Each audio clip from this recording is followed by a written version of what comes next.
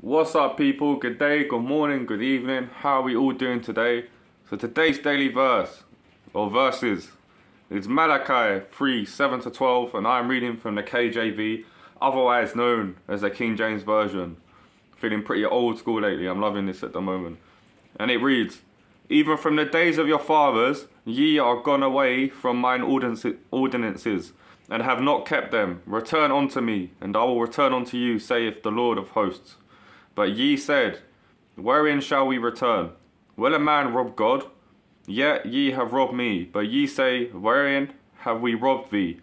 In tithes and offerings, ye are cursed with a curse. For ye have robbed me, even this whole nation. Bring ye all the tithes into the storehouse, that there may be meat in mine house.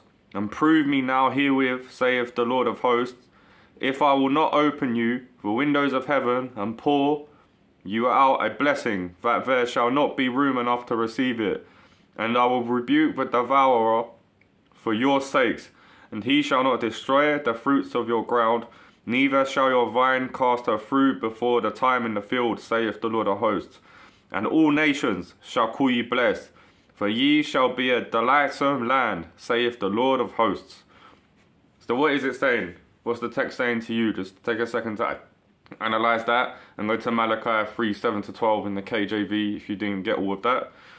So what, what, what saying is, it's saying even from the days of your fathers, you have gone astray from mine ordinances, meaning that people haven't kept the ordinances of God, that they have run away They've run away and gone astray from his teachings, from his word, and decided to go their own paths. So, as we know, what happens when we go our own paths in life and don't follow God's word, don't follow his instructions for our lives, we find disaster, we find destruction, and we find negativity, and then we reap and sow negativity upon ourselves. But when we follow God's ordinances, when we follow his ways, when we follow his decrees, and when we follow his way of doing things, we find blessings, we find abundance, and we find a more positive life.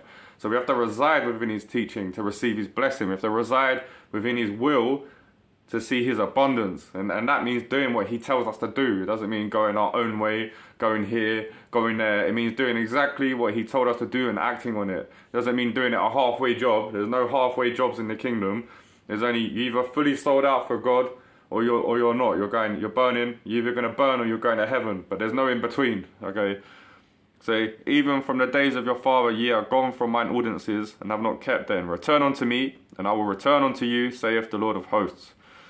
So when it says, Return unto me, and I will return unto you, saith the Lord of hosts, it means that God won't leave or abandon us, but we can abandon him. So when we choose not to follow his ways, he's still there. He's still waiting for us to come back to him because he's a loving father. And just like the prodigal son who spent his inheritance and then came back and the father welcomed him back in open arms. That's exactly what God would do for us. But we can run away from him. We can choose to leave him. And when we choose to go on our own way and follow the desires of our sinful nature, the desires of our heart, we're basically telling him that we're abandoning him. So when he's saying here, return unto me and I'll return unto you. It means he's waiting. So we need to return unto him and then he will return back unto us. And that's an important thing to remember. Like, whenever you feel like God has left you or abandoned you in any situation, the truth of the matter is you've left or abandoned him in that situation in your life. And as believers, we need to dissect our lives to gain a, to gain a higher level of spiritual understanding to see where we're not following God's word, where we're abandoning Him in a certain area of our lives. Because wherever we're not receiving a blessed life, wherever we're not receiving peace in an area of our life, it normally means we're not giving God full control. And the important part of faith is we have to let go and we have to give full control to God, and that means following His ordinances for our life. But He said, Wherein shall we return? Will a man rob God? Yet have you have robbed me, sorry. Yet ye have robbed me. But ye say, Wherein have we robbed thee in tithes and offerings? So when it says basically God is saying like you have robbed me, you have robbed me of, of my tithes and offerings. So as believers, we're told to give from our resources, we're told to give from our time, and we're told to give from our talents. So what are you giving to God? Are you giving God? Are you giving God your your finances, your time, your challenge?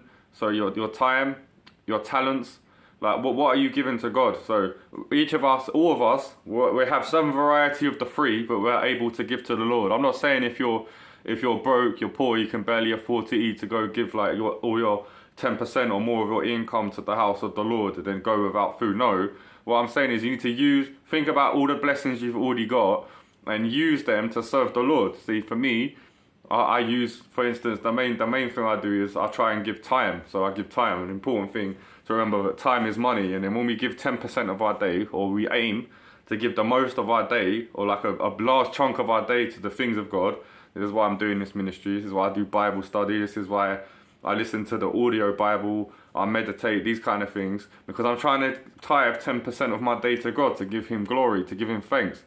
And, uh, and like when we give 10% to God, or, or, whatever it may be, our time, our money, our, our, even, even using our talents to serve His house, like we receive blessing for that. Because we were showing Him thanks. We're showing Him, look, thank you for what I've been given, and I wish to serve your kingdom with the stuff you've given me.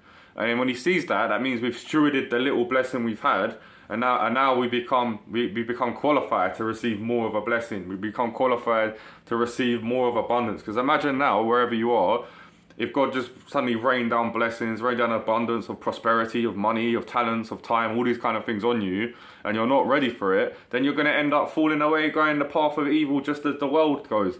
You're going to start spending money just as the world spends money, using it to flash wealth, uh, cosmetic surgery, you know, all these clothes, everything, you know, all these kind of things.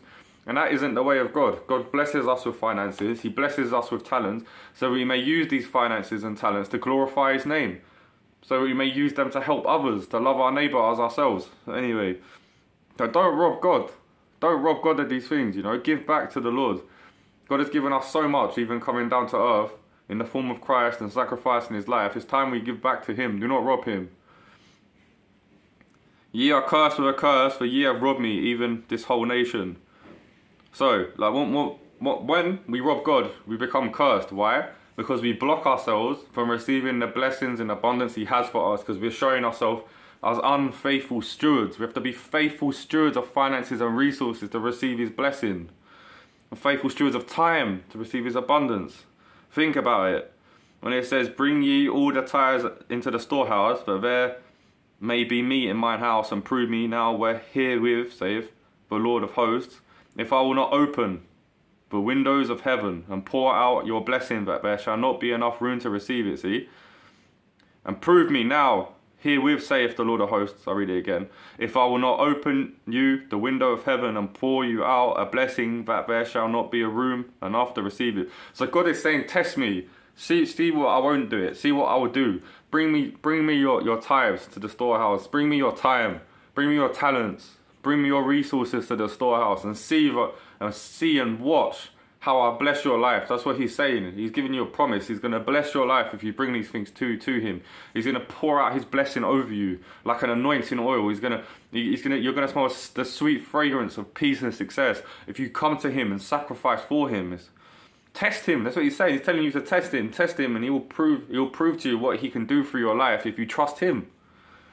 And I will rebuke the devourer for your sakes and he shall not destroy the fruit of your ground, neither shall your vine cast her fruit before the time in the field, saith the Lord of hosts. See, like when we don't follow the Lord's way for our life, we open ourselves to the enemy. So basically, when we close the door on God, even without us realizing it, we're opening the door on the devil and his cronies, his demons, to come in and mess with us. So he's saying here, like, if we trust in him, he's not only does his blessing fall over us, but his protection falls over us. And then angels are around us in the unseen, fighting off negative forces. But when we reside in the Lord's blessing and protection, he rebukes the devil, the devil flees, because where there is light, there cannot be darkness. Remember, I always say this you turn on the light in a dark room, the darkness flees. Where there is light, there cannot be darkness. And the devil flees from darkness. Oh, sorry, he flees from the light, sorry. So he can reside in the darkness. The devil can't reside in the light, for the light is the opposite of the dark. Yeah? So the devil can't destroy the fruits of your ground, and he can't cast the vine's fruit before the time in the field, so the vine perishes. It means you will receive your blessing, your abundance, your positive life at the right time. It won't be taken away. It won't be destroyed because God's protection will reside over you. Why? Because you trusted God. You brought Him your, your, your tithes, your resources, your time, and your talents and decided to serve Him with them. So He will bless you and protect you and strengthen your life. And all the nations shall call you blessed. For for ye shall be delight, a delightsome land, saith the Lord of hosts. And then people will see that you're blessed and glorify God through you because they will know it's only God that can do that through your life. It's only God that can make that change in he or she who has trusted in Him, who has followed His ways. So let's trust in God today. And remember, let's not rob God. Let's bring God what He deserves. Let's bring Him all the glory, all the thanks, and everything that He deserves as we go forth today and forever. In Jesus' name, amen. Thank you very much. Have a great day today. Love you all. Peace.